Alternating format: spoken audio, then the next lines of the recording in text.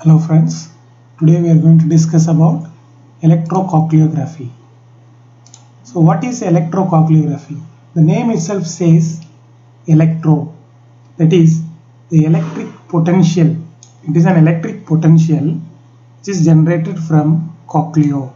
Cochleo is cochlea, graphy is the technique. So we are going to record the cochlear potentials, electric potentials in the cochlea. It is an electrophysiological test. This is the auditory periphery, the peripheral mechanism. It is the sound waves.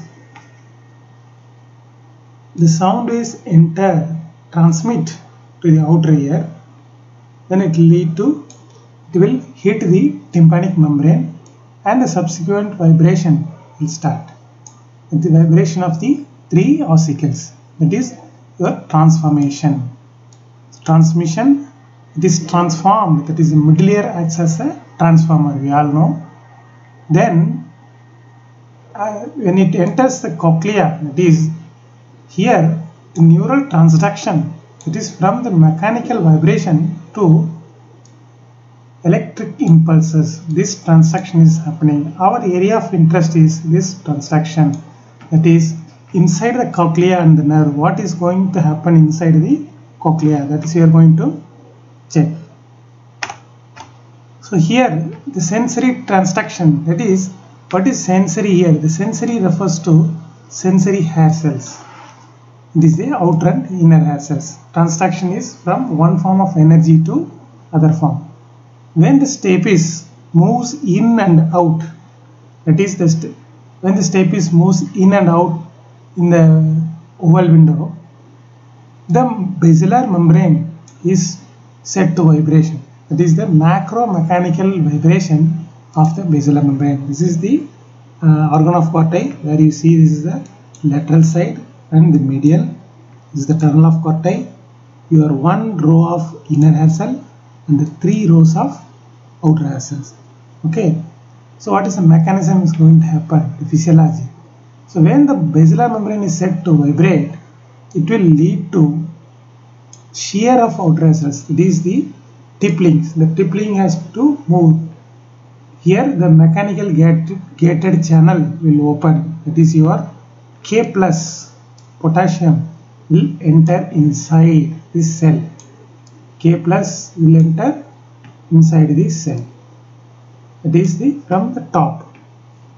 So there the receptor current will generate. The receptor currents and potential due to electric conduct conductance. So your uh, k plus will enter inside. The depolarization will happen. Then your calcium will enter inside here. Here is here 2 plus will enter inside. Then the k plus will come out. That time that is the hyperpolarization depolarization hyper hyperpolarization. Cycle will happen. So here this is called receptor potential or membrane potential. This will happen. So when it, when it uh, happens in the outer cells the active forces we know that outer cells are motile. That is it can able ability to move. The slow and fast phase of the your elongation of the uh, elongation of the outer cells, the bulging of the outer cell, which will lead to which will lead to again again it will lead to vibration of the basilar membrane. So this will generate the your otoacoustic emission. Okay. So this uh, so the up to 50 dB. There is a after 50 dB uh, the sensitivity for uh, low level sound it will improve the sensitivity for low level sound and also increase the sharpness of the uh, frequency tuning. Okay? So similarly same will happen in the this side that is medial side of the organ of the same will happen.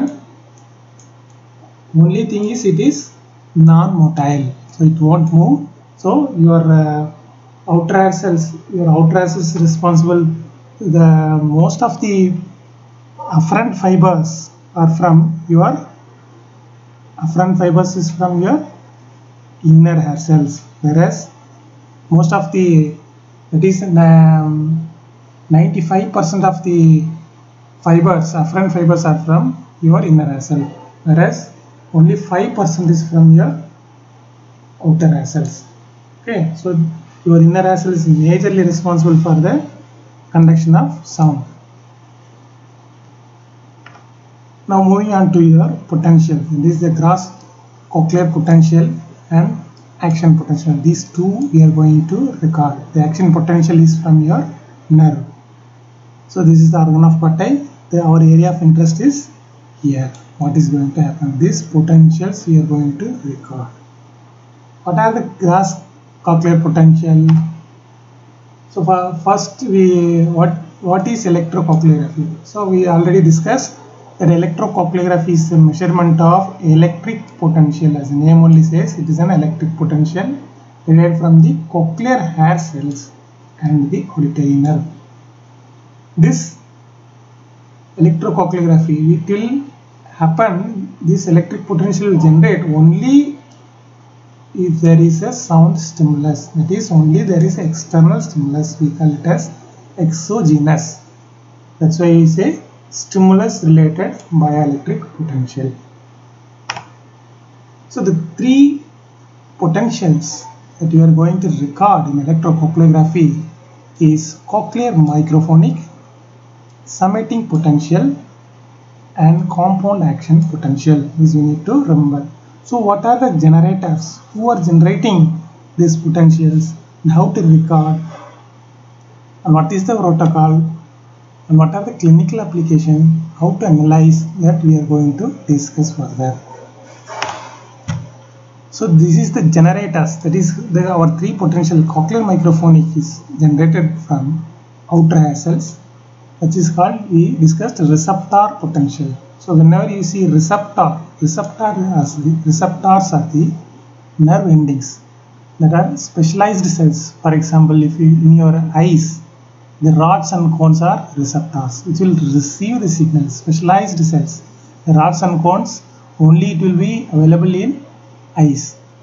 Similarly in ear we have the outer cells and inner cells they are called receptors okay so the cochlear microphonic is generated from outer hair cells and that is a receptor potentials.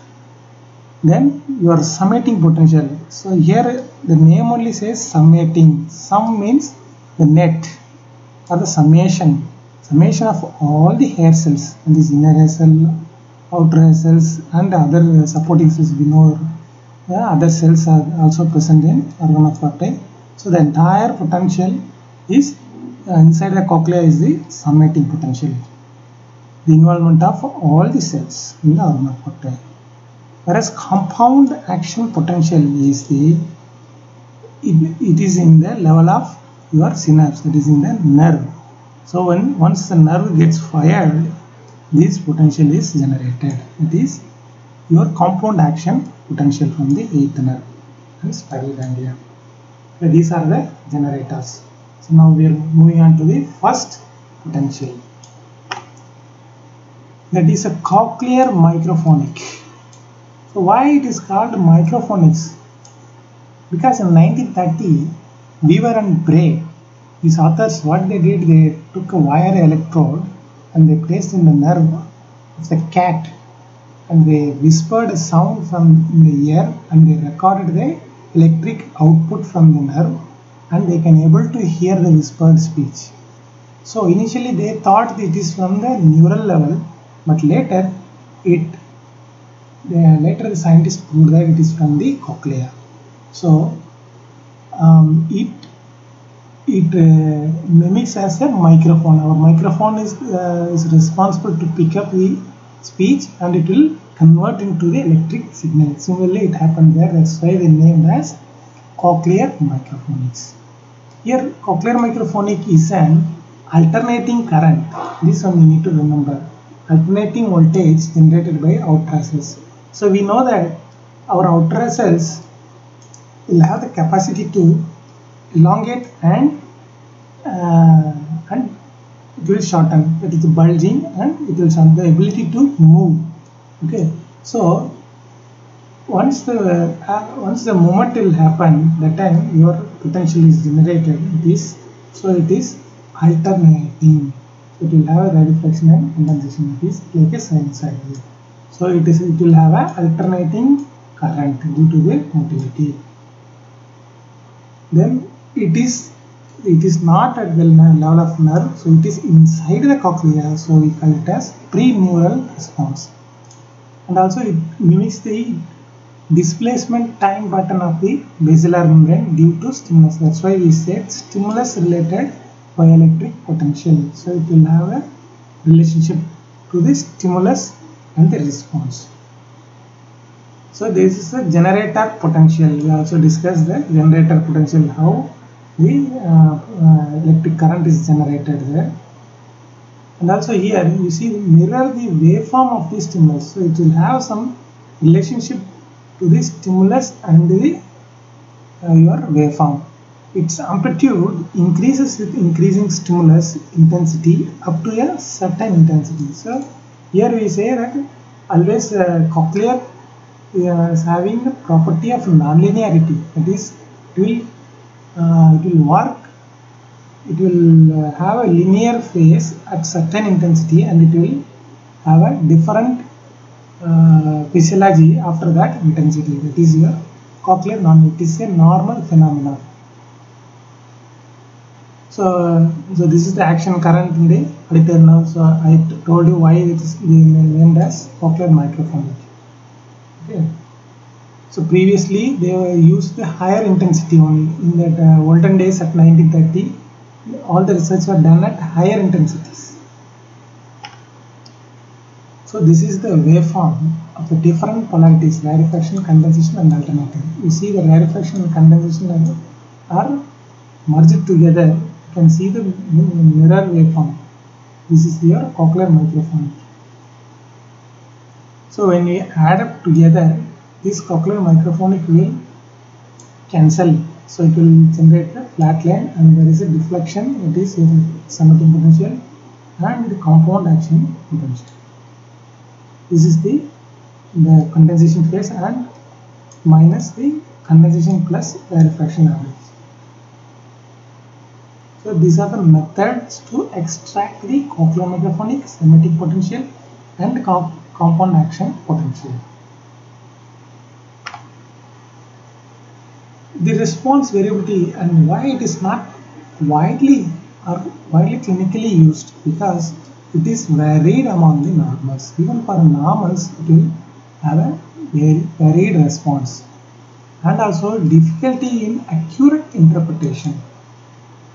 Then I told you already it's a stimulus related uh, bioelectric potential. That's why to separate from true cochlear microphone is uh, difficult and also less clinical application.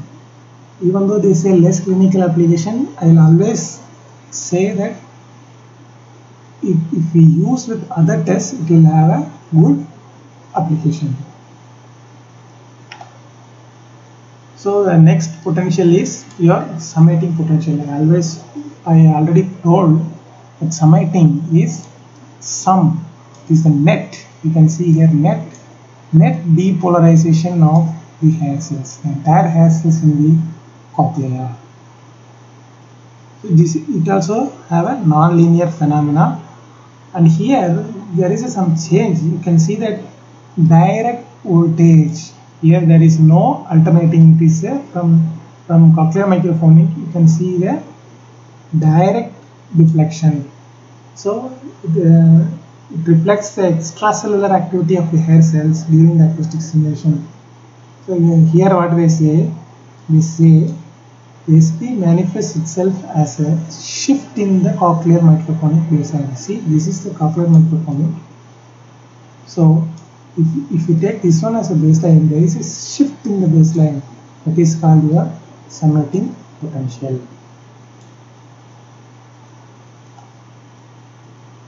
Then I told you the stimulus related potential. So this is a tone burst. If we have, we will have a sustained response throughout the duration of stimulus. and we know that it is pre-neural. It is not at the level of nerve. So it is, the latency will be shorter than the action potential and it is a unidirectional voltage diffraction. So there will be no no sinusoid, there will be only one deflection. It will also also for all we, we can we can add the point that non-linearity. Whenever you say cochlea, it is you have to remember the phenomenon of non-linearity. So what is this? This summating potential is very important because as it involves in the Meniere's disease. Meniere's disease are um, cochlear hydrops. We know that the summit, the endolymphatic potential will be changed. That means there, there, there is a mixture of there is a mixture of perilymph and endolymph. So, so there your potential will be elevated or it is distorted and the, and the transduction process is also distorted. So there you will have that the net the net potential that is our summating potential will have increased amplitude. It is the enlarged amplitude. So it will have an uh, important application in the diagnosis of Meniere's disease. Next potential is compound action potential. So we know that it is from the nerve, that is from your eighth nerve. The synchronous, synchronous means time locked. The synchronous firing, firing of thousands of auditory nerve fibers in response to a transient auditory stimulus, such as click or burst. So this is the post-synaptic response that is at the level of your nerve. So we know that synapse is not a direct anatomical connection, rather it is a physiological connection. So it is after the synapse where the, our uh, the vesicles, the neural vesicles uh, will, bump into the, the neurotransmitters or bump, then your firing which actual firing is started. There your compound action potential is generated. Okay. So the latency decreased and amplitude increased as stimulus intensity is increased. Similarly, we know that similarly like your uh, your ABR, the first waveform of ABR is the compound action potential.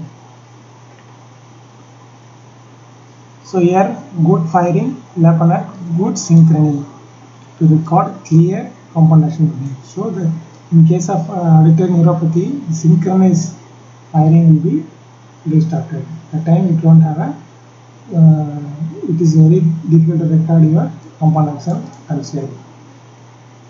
So we know that click abrupt onset response is uh, we everyone know.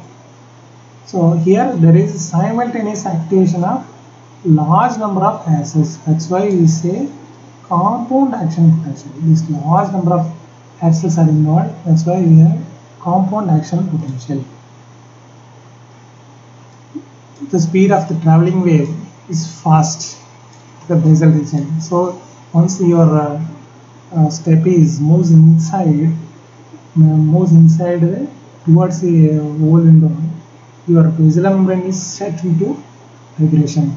So your uh, peak, the traveling wave will have a very fast pace at initially and uh, whereas when you go towards the medial let's say it will have and the, the amplitude will be reduced.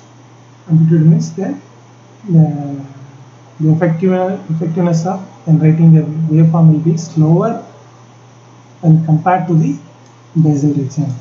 When it goes to the apex apical region it will have a uh, reduction in the generation of the peak. That is your traveling wave.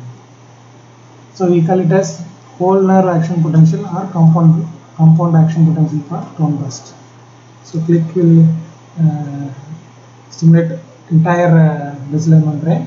Why we say nerve action potential. Okay. So uh, the earlier studies shows in infants and children threshold estimation okay so previously they were used for threshold estimation in infants and children but after the advent of the ABR it is not widely used for diagnostic purpose. Then um, I already told it, uh, it is having a less clinical, uh, uh, less clinical application in cochlear microphonics told. When we have a combined action potential and ABR approach, so it will give you the uh, status of your retrocochlear, retrocochlear status.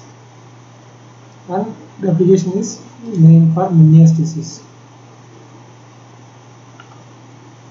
Then moving on to the, so we have uh, covered the, the three potential, how it is generating, where it is generating, what is the physiology behind the potentials. Now the electrode placement. So your uh, positive will be placed inside the tympanic membrane, inside not inside, uh, along with the TM or promontory or round window. It will vary depending on your approach. We will discuss further. Then your inverting is a earlobe or mastite. Then ground is forehead or ipsilateral layer or mastite. Depending on the approach, it will vary. So these are the parameters. It is 1000 to 2000 repetition. Analysis time minus 5 to 10 milliseconds. 50,000 to 1 lakh time amplification in filter minus 3 hertz to 10 hertz to 3000 hertz. Okay, these are the parameters. And the stimulus is click, duration 100 microsecond. Beginning, you need to hearing at start at 90 to 95 dB XL. Um, alternating polarity and repetition rate is 9.7 per second. So now we uh, see the parameters Next, we are going to record the electrocochleogram. So there are different approaches. What are the approaches? First approach is direct nerve recording, intracochlear recordings, transtympanic recording, and extratympanic recording. So what is direct nerve recording? So the nerve, the name itself says it's a direct nerve. So we need to expose the nerve. So that is invasive. So invasive so it is not critical to do in the human population. So uh, usually it is done in animal studies. So here the nerve is exposed directly displaced the electrode is placed directly on the nerve to the compound action potential so uh, even though we have three different approaches the characteristics of the AP recorded by this method are similar to that of action potential recorded at, at the round window. And uh, intraoperative monitoring in humans we have less SNR. So while doing surgery we can monitor the functioning of the nerve. Then intracochlear recording. So here electrode is placed into the cochlea and it also since it is more near site it will give more place specific information with good resolution. But to, to apply, to place electrode inside the cochlear is too complicated and it's uh, so it is limited to animal studies. Intracochlear recordings in cochlear implant users. So here they have come with new technology, a new technique that they have uh, while in cochlear implant also they are placing the electrode inside the cochlea. We can't we use that electrode? So they tried to record intracochlear recording of cochlear potentials in cochlear implant users. They have got direct access to the intracochlear electrode through a percutaneous pedestal connector. That means they will have a special connector is your uh, similarly like your uh, coil, the kind the coil uh, in the cochlear implant. Similarly, they will have a special coil to connect access to the intracochlear electrode. There they will give an acoustic stimulus. So here it will uh, have a significant artifact problem. So there are special methods to record cochlear potential to intracochlear recording made by cochlear implant manufacturers that is called neural response telemetry that is NRT. and neural response imaging by advanced bionics. So these, these two uh, Cochlear implant company, this Cochlear and the advanced bionics have come with a two technique, neural response telemetry and neural response imaging. So here you see uh, this is transtympanic approach. That is, you will transfer the needle piercing into the membrane and you place the uh, needle or electrode on the promontory. Biology portion is called the promontory. This is called transtympanic approach. This is extratympanic that I will show in the next slide. So here the highest quality response are measured because the needle electrode is placed through the membrane and directly onto the promontory of the cochlea. So it is very near to the basal part of the cochlea and the, the generator is very nearer. And it is invasive as it involves piercing of the membrane. It is invasive. So this is the needle it is pierced pierced on membrane and it traveled to we have placed it on the round window. It is very near to the side so it, uh, it will have a very good amplitude. This is the ball electrode. During the surgery, they expose the middle ear space. The transtympanic recordings can also be made by placing the ball electrode on the round window. So ball electrode they are golf club electrodes useful for recording response for frequency stimuli. This is the subdermal needle electrode. So here you see the needle is used in neurophysiologic monitoring, the intraoperative the operation. So they will pierce needle on the directly on the site. So transtympanic recording are 2 to 10 times larger than those recorded from tympanic membrane. That is extratympanic. So extratympanic is outside the tympanic membrane. This transtympanic is transferring the tympanic membrane. That is piercing the tympanic membrane. So uh, this uh, this findings by Ferraro et al. 1994 and Schoonhoven et al. 1995. In the order of 15 to 25 microwatt and 10 times to 40 times larger than ear canal electrode placements. But the morphology is uh, we don't morphology is not differing very much and for both electronics. Now we will move on to the extra tympanic. This is a safer mode because it is non-invasive. We are going to place electrode um, on the membrane. Placing an electrode on the not on the membrane as close to the tympanic membrane, either in the ear canal or resting on TM itself. This is extra tympanic. This is the tympanoid special special electrode. You can see this is the ball electrode placed in the next to the eardrum. This is a tympanoid. So tympanoid designed by Ferraro, described by and modified version is by Stepilkowski and Stalar 1987. So the there is electrode wire with a foam rubber tip impregnated with conduction gel. So this gel will going pick up the response. It gently rests on the eardrum. This is the electrode. So you see this is the gold uh, electrode in the ear canal. Okay.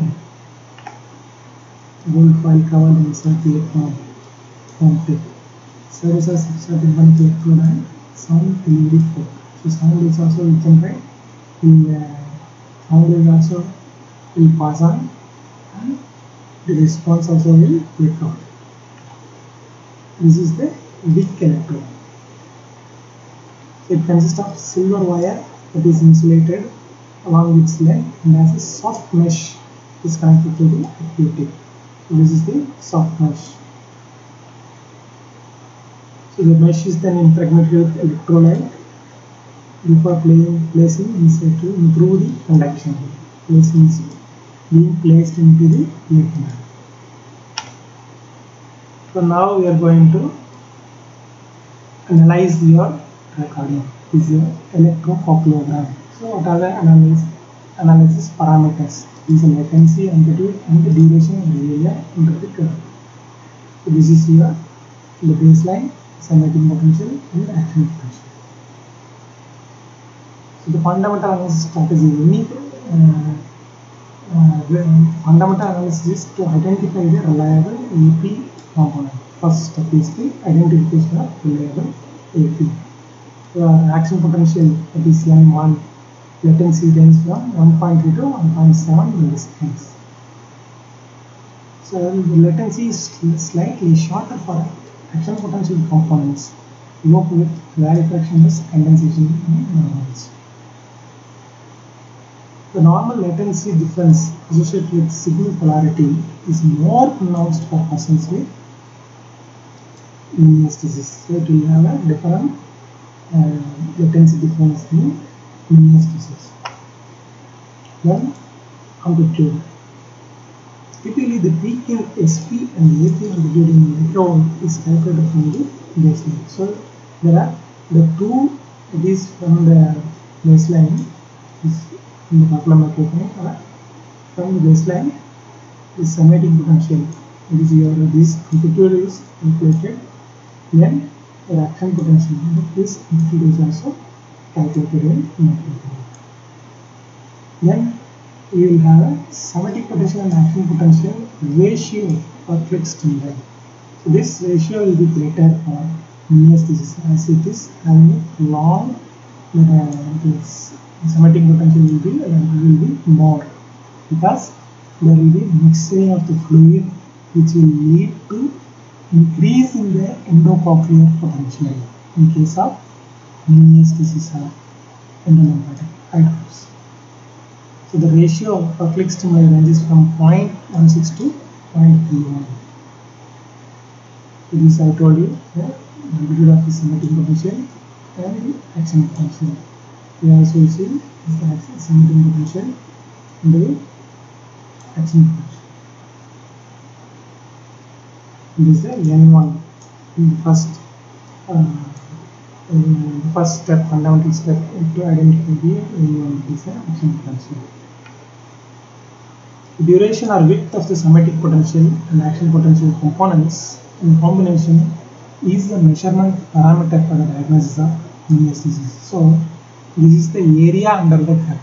This is the duration or width.